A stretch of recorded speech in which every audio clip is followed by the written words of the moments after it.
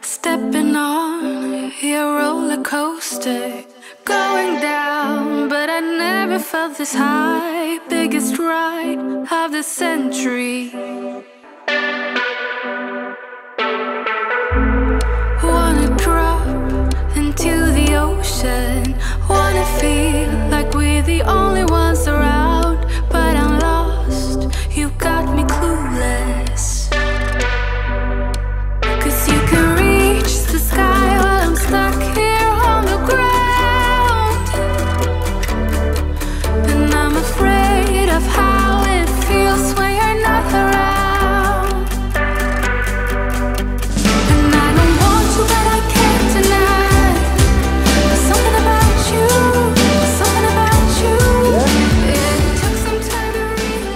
igjen. Jeg lagde en litt uh, ny eh, introduksjonsvideo. Jeg syns den andre var litt kjedelig, så jeg håper uh, dere liker den nye. Jeg tenkte jeg skulle snakke litt om uh, Til dere som ønsker å flytte til Thailand. Hva er det første dere opplever? Det blir jo en helt ny hverdag. Altså, det Det første du møter, er jo så klart en svær flyplass og en utrolig sterk varme når du går ut i Bangkok, og stort sett sol og pent vær. Og så klart Bangkok eh, mye eksos. Men først av alt, du, du treffer en ny kultur. Eh, mest sannsynlig så er du enslig, eller du har eh, truffet en eller annen på internett, eller en eller annen på en forrige reise, så Hun møter deg nok på flyplassen.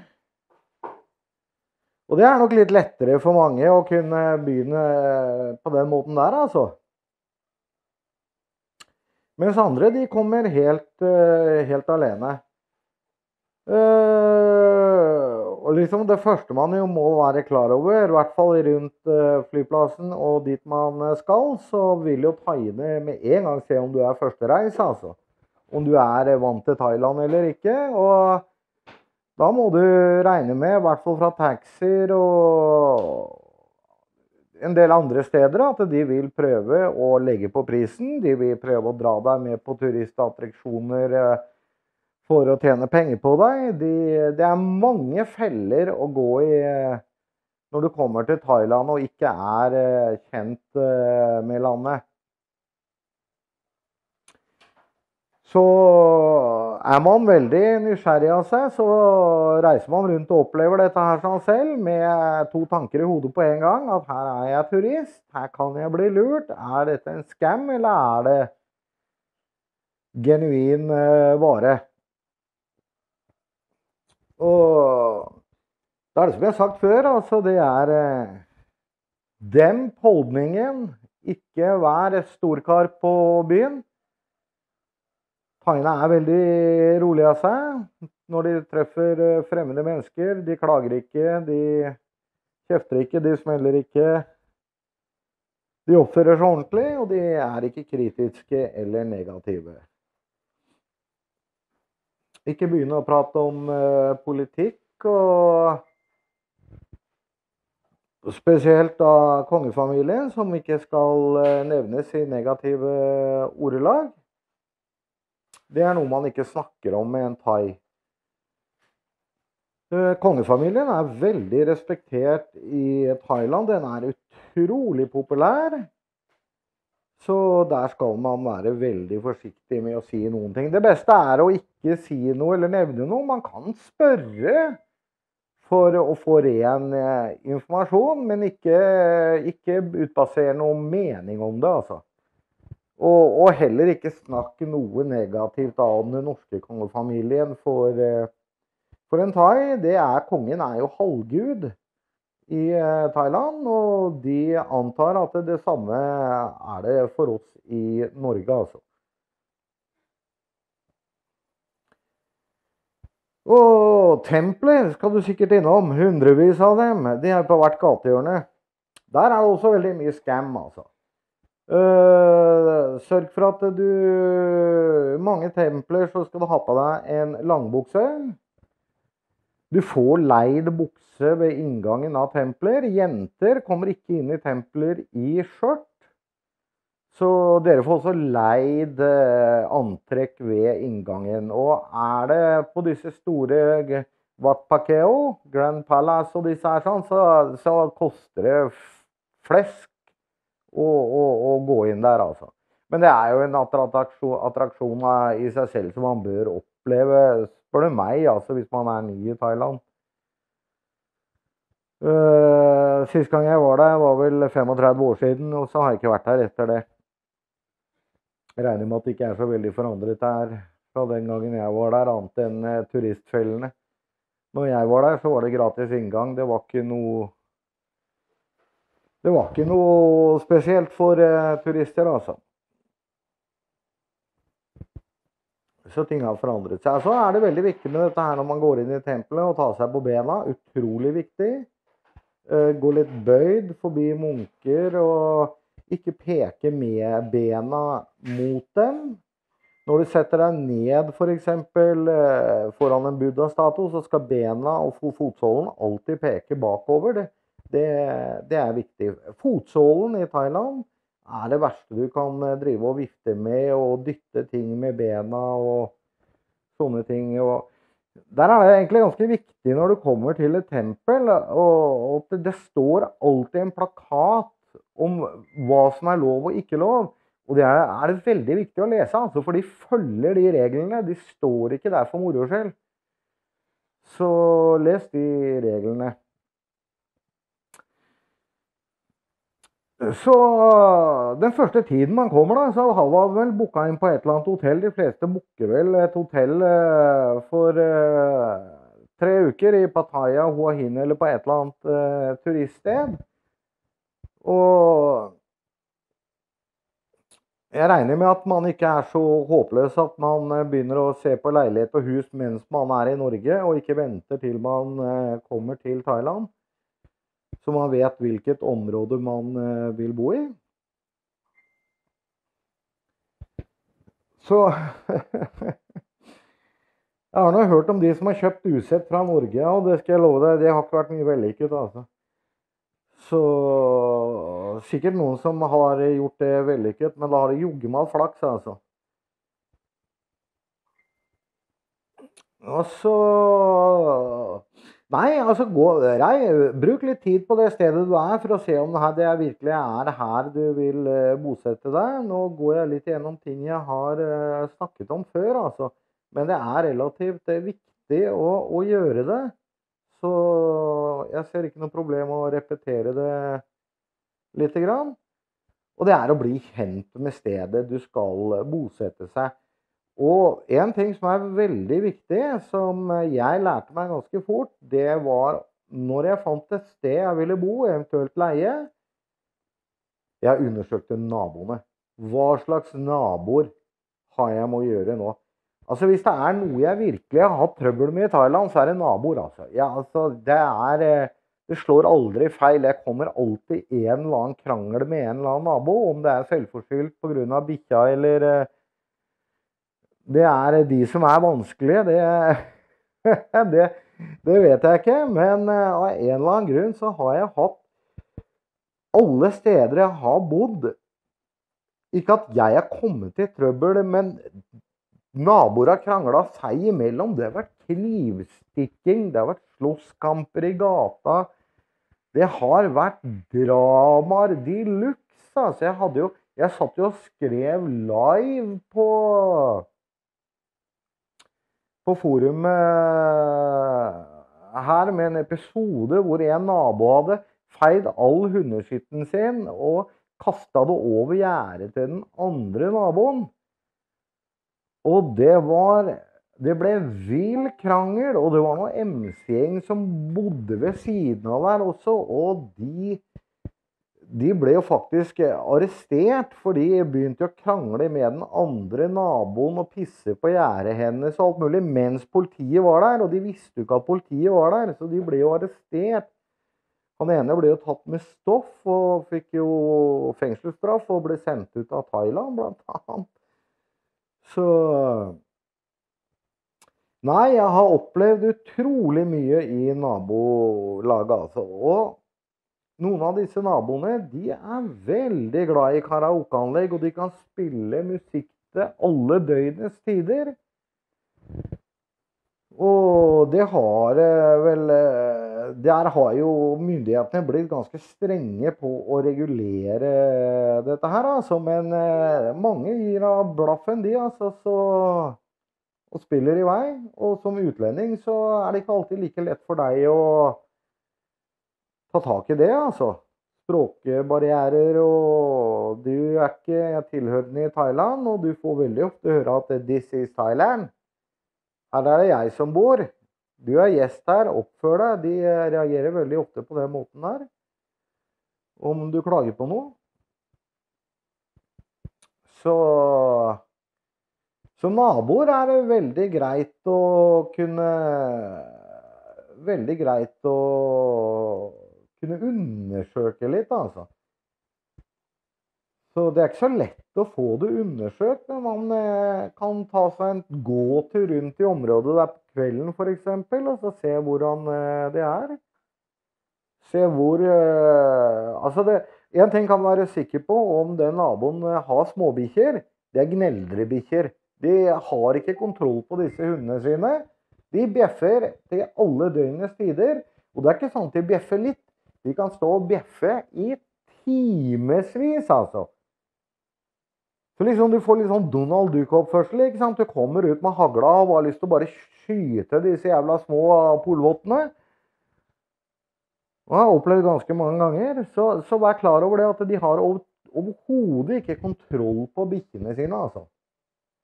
De bare er der, de bikkjene, og skremmer spøkelser. Og så kan de gjøre akkurat uh, hva de vil, altså.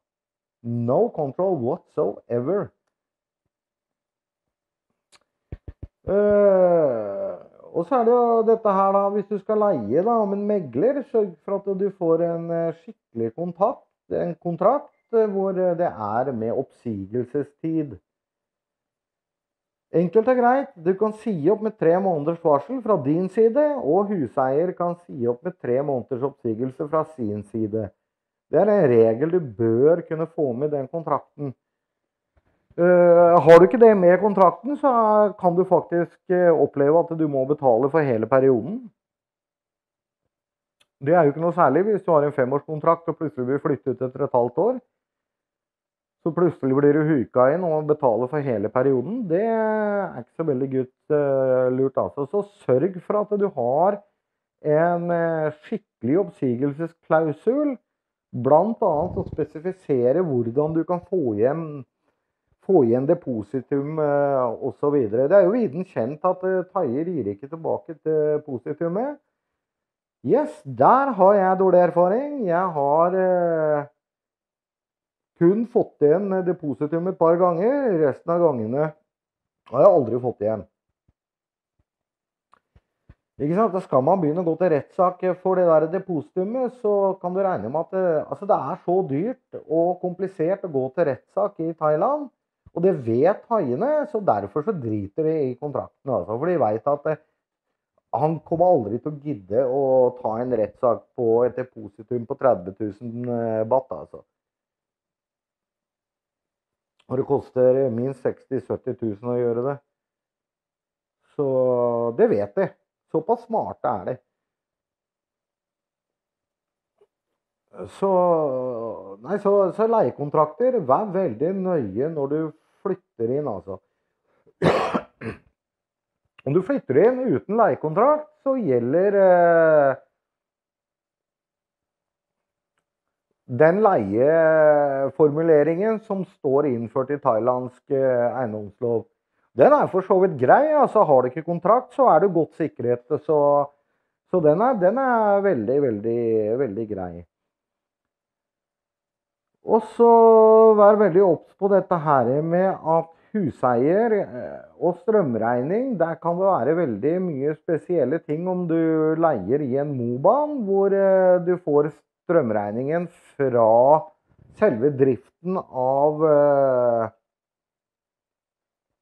Mobanen, eller Suburban Area, landsbyen, eller kall det hva du vil. Der kan du plutselig få doble strømregninger. Så vær veldig nøye på å spørre på uniten der. Og jeg har også opplevd at huseiere har eh, hatt to strømmålere. Én for deg og én for eh, seg selv. Så hvor de får strømregningen, når de da sier det at de, får, de betaler eh, strømregningen direkte via bank, altså autogiro til banken. Og så kommer de da til deg etterpå med en utskrift av den ekstra måleren, og kan gjerne doble strømmen. Så forlang at uh, du skal ha strømregningen fra det ekte måleren, og fra de som leverer strømregningen uten noe mellomledd. Ja, for det er så billig allikevel. Det er ikke noe stor uh, kostnad. Så, så, det er greit, altså. Det er greit å vite disse herre tingene. Uh, ta godt med bilder av huset hvis det er noen skader der fra før av du flytter inn. Det jeg gjorde, var å ta bilde og få huseieren til å signere på de bildene. Så det godtar de. De har vel egentlig ikke noe valg om de vil eh, Om de vil eh, ha huset sitt leid ut jeg har stort sett alltid klart å prute på prisen i form av lavere depositum. Selve husleien har jeg vært vanskelig å, å, prute på, men man kan fint prute på depositumet. Og det beste er, eh, før du skal prute, det er å være kjempeinteressert i huset og muntlig si at dette skal du ha, osv. Sånn så huseieren blir helt komfortabel med at du kommer til å leie huset. Og da, og da du skal skrive under kontrakten, da kommer du. Og sier at du er eh, ikke komfortabel med å leie huset fordi du syns depositumet er for høyt, og du kan ikke leie Du, du kan ikke betale mer enn én måned til depositum. Da, de, eh, da får de hetta, altså. Og det Så de, da går de som regel med på det. En annen ting, når man har funnet et hus, så skal de gjerne få for, forhånds... Eh, de skal ha garantipenger for at du får huset. Gå aldri med på det, for det er bare tull. Det er bare bløff. De sier 'Å nei, vi har leid ut, det er noe som skal leie, og det kommer flere som skal leie, så du må betale en forhåndsgaranti'. Aldri gjør det. Det gjelder med alt, altså. Det er bare noe de sier. Så Så det må, må dere ikke finne på å gå på. De der husene de står tomme i årevis ofte. Altså, så er, og uansett om det blir leid, så er det, leid ut, så er det så mange andre fine hus at det er ikke noe problem. altså. Jeg vet om folk som har betalt garanti og kommet tilbake og skal flytte inn, og det har flytta inn eh, nye folk der, og både huseier og garantien er forduftet. Så betal aldri noe forskudd. Det gjelder på jobb også. Betal aldri arbeid på forskudd. Fordi de kommer ikke. Da har de fått penga, og da dukker de aldri opp. altså. Skal jeg love det. Det er å kaste perler for svin, altså forskuddsbetaling. Det gjør jeg aldri. Noen steder. Skal jobben være ferdig, godtar de ikke det, nei vel, da er det bare å dra. Så er det bare å finne noen andre som godtar det. Godtar det.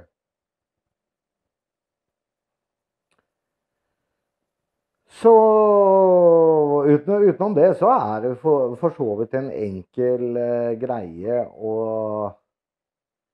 å leie seg hus. Man trenger ikke være redd for å gå til en eiendomsmegler. For de skimmer ikke noe på husleien. Den avtalen eiendomsmeglere har, det er at hvis de leier et hus for huseier, så får de den første husleien. Det er sånn systemet fungerer. Så det er ikke noe økt husleie. Dette her er for så vidt en husleie som eh, huseieren setter. Og i et utleiefirma så kan du komme med krav, og de vil kontakte eieren og høre om eieren vil godta det. Så det er for så vidt ikke noe særlig problem, altså. Dette med huskjøp har jeg jo gått gjennom. Det ligger jo en helt annen eh, video på der. Det er jo Ja. Fordi de som må eie Sikkert fint det, hvis det går bra. Nei, men altså det, man må huske på det når man kommer til uh, Thailand. Altså du, du, reiser fra et uh, organisert land med en super infrastruktur som har ordnet alt for oss. Det får du ikke i Thailand. Du reiser til noe som er mye, mye verre enn Norge, altså. Det er billig drinker, fine jenter og flotte strender. Det er vel eh, det som tiltrekker eh, de fleste. Bortsett fra de som er gift med norsk dame, da. Og det er liksom eh, første bud, og fungerer det, så er liksom alt annet greit. Men eh, hverdagen kommer, den, altså. Problemene de kommer til å dukke opp eh, ettersom du tråkker opp stiene så er det bare helt deg selv hvordan du velger å takle disse problemene. Om du lar de gå inn på deg, eller om du rister dem av deg. Liksom. Det kommer helt an på hva slags type du er. Jeg syns mange av disse her problemene kan være fryktelig underholdende. Ja. Altså, spesielt når du er ute og kjører bil og ser hvordan de holder på i trafikken. Altså, 90% av gangene så sitter jeg bare og flirer av dem. Altså, jeg klarer ikke å bli sur eller hissig. Det er bare sånn Nei, nei, nei, liksom. Det er eh, Noen ganger så gjør de ting, vet du. Det er jo Du kan ikke noe annet enn le. Det, jeg klarer i hvert fall ikke å bli sur for det, altså.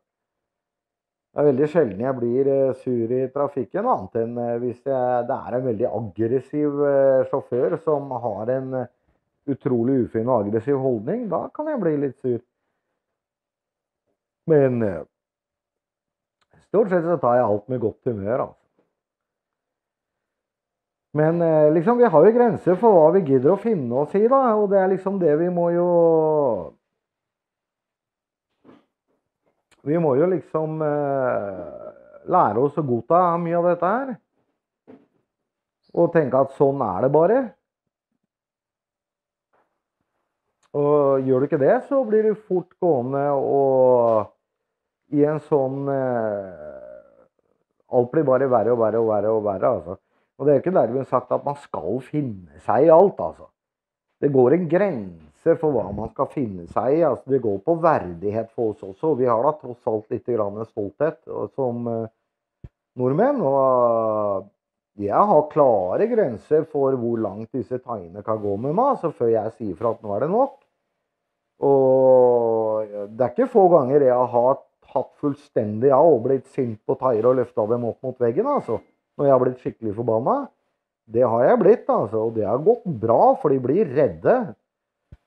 Så jeg er ikke noe redd for å si fra. Når jeg føler at nå har de tråkka meg skikkelig på beina, så kan jeg bli forbanna, altså. Så jeg finner meg ikke i absolutt alt, altså. Alt innenfor rimelighetens grenser for hva som jeg, som jeg finner meg i, altså. Så det Jeg har til og med vært i håndgemeng med en politimann en gang, ja, så det gikk bra, det. Så det han eh, Han gikk sin vei. Han ville ikke krangle mer eh, med meg, altså.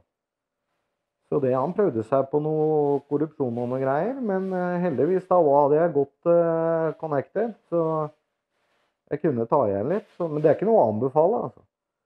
Men det er bare å se og si fra at jeg finner meg absolutt ikke i absolutt alt. Jeg har mine grenser hvor, hvor ting går. Det bør dere også ha. Yes, det var litt om eh, utleie og hvordan det oppleves å komme til Thailand for første gang. De aller fleste av dere vet jo hvordan det er. Så har dere noe å tilfelle, så får dere bare kommentere og komme med råd, dere også. Det er jo det kommentarfeltet er til. Så jeg håper dere abonnerer på kanalen og trykker liker og kommenterer som bare det på disse videoene.